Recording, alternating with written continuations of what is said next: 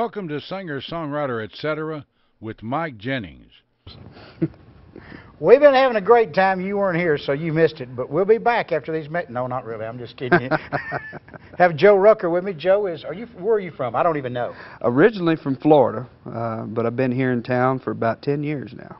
Well, that makes you fairly close to a local. Not really, but almost. So, did you come up here for this industry, the mu- music industry? Absolutely, yeah. Just like a like another million idiots that are out there trying to do. Nah, it's not No, a million. I think no. seven of them left last week. Oh, really? So Oh, we're really? down, but there'll be ten or twelve more come in, so we'll be above right. that number. The uh,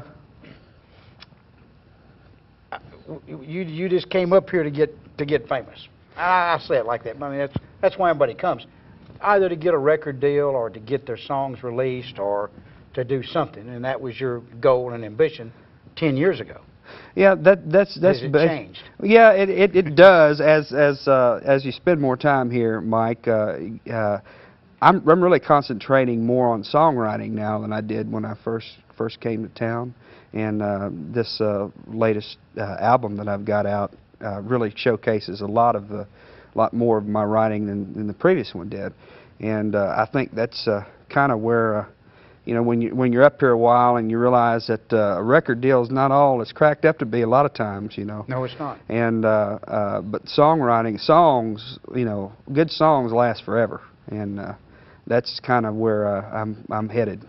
Merle's made some of them do it that oh way. hasn't yeah, I believe so. One or two maybe. Actually, there's been a bunch of them. This is just the first one that comes to my mind. But so when you first got up here, I mean, obviously everybody has these visions of what they're going to do and how easy it's going to be, and then then they hit those brick walls. Now, Mhm.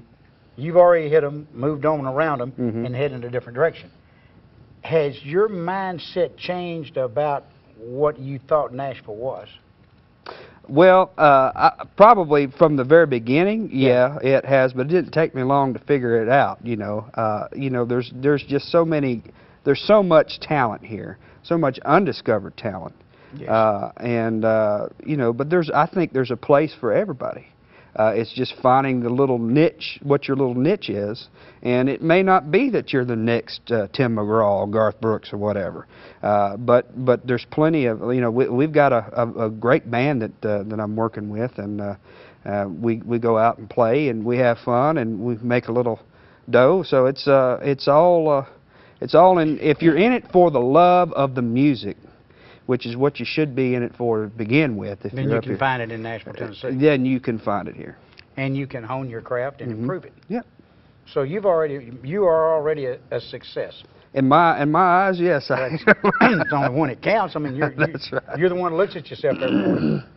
You have accomplished what you want to accomplish. You'd like to go a little further, but Mhm. but you're where you wanted to be. hmm Exactly. There you go. So you, you're this, you are a success story. Well, I appreciate hearing Good. that from another Well- another person. You know. Well, I mean, you got a lot of people that come to this town that that come here to, to, to I mean, to be the next Garth Brooks. It don't happen in six Mhm. months, and they get discouraged, and they just a lot of them get down on themselves. Well, you know what I what I enjoy more than more than anything is the respect from my peers. You know, and uh, uh, you know if you can get that, you've got you've gotten a lot. You've really gotten a lot. And I've got to work with folks like Jack Greene, you know, Eddie Raven, uh, Hank Right. Locklin, Charlie Louvin. So uh, on- once you once you've you know attained that, I think that says a lot more than than financial or uh, fame success type success can. You know. I would say it does. I would say that when you hit, once you get to that, and you have accomplished in your mind something Mhm. that you can look back on and say, yeah, I've done that, then I'd say you're, you're where you want to be. And like I said, don't mean you don't want to go just one more notch Well, sure, you're always looking to improve. You know, It's, I, it's just as easy to walk in and say, yeah, he had a number one that I, that Yeah. I wrote, and he had a number one. Well, It's a lot sure. So, speaking of number ones and twos and sevens, we're just about down on the time because that's my screen that says we're running shortly. We're actually going to stop right now, and when we come back, folks, you're going to hear Joe Rucker, and you're going to hear some great music. So stick around.